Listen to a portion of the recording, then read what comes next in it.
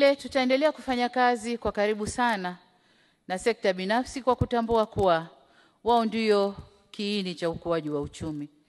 Na kwa kudhihirisha hilo, pamoja na mambo mengine, serikali tunashirikiana na sekta na taasisi ya sekta binafsi TPSF kuanzisha mfumo wa kupokea na kushughulikia changamoto za wawekezaji nchini kwa njia ya mtandao. Lengo la mfumo huo ni kurahisisha ushughulikiaji wa changamoto za wawekezaji kwa njia ya haraka na kuleta ufanisi katika kuwahudumia. Mheshimiwa Spika, kumekuwa pia na malalamiko mengi kwenye upatikanaji wa vibali vya kazi kwa wageni.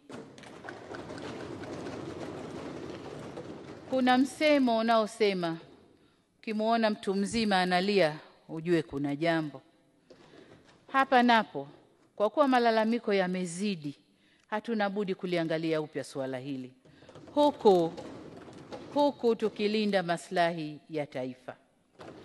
Ni imani yangu kuwa hatua hizi pamoja na nyingine ambazo sikuzitaja zitavutia wawekezaji na wafanya biashara wengi ikiwemo wa ndani kuwekeza kwenye sekta mbalimbali mbali nchini na hivyo kusaidia juhudi za serikali za kukuza uchumi